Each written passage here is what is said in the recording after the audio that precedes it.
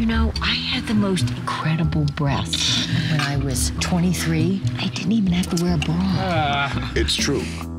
I thought you said that your mom was crazy. Most people have trains of thought. My mom has like 15,000 post-it notes flapping around. I'm playing Celia, uh, the matriarch of this family here in Lake Tahoe. I have two sons coming to visit me for Labor Day weekend and bringing their respective partners and friends. You have to meet Luke. I suppose I could say I heard so much about you, except that I haven't because Theo never tells his parents anything.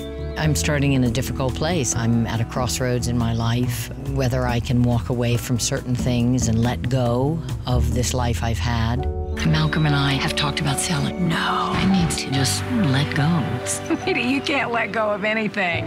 You always want something that's going to require great things of you, and this part, I think, does, and, and it has required enormous things of me in ways that were expected and ways that were very unexpected, and that's what a great part is. If you looked at us from a distance, would you say that we're good people?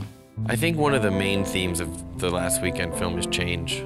I think you see people at different stages in their lives in a place that centers them and grounds them. And when we come home, we're able to see ourselves change the most. It's a movie about a family going through some turmoil and some change and some extreme circumstances and how they deal with all that together and individually. This area is crawling with immigrants. Malcolm, I've read it in the paper. Burglaries, rapes, even murders.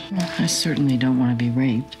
This experience shooting last weekend has been has been about as close to paradise as, as a location and a film shoot can be. It's been like summer camp. I mean, all the, the sort of the younger party has really gotten along well. It's an amazing cast. It has great alchemy on and off screen. You know, we all really love each other, and so it's going to be very hard to leave all this behind. This meal was designed according to a special diet, and you don't count calories. What do you count? Carbon emissions. I'm sorry, I just, I can't.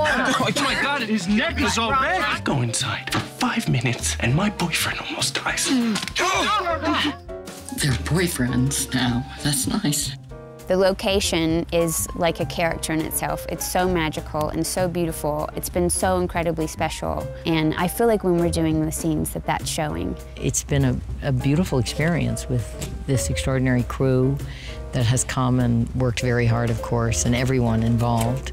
I think we have fulfilled Tom Dolby's beautiful script. I wanted their last summer weekend here to be like every other summer we've had. Wait, guys, everyone, everyone, Dad,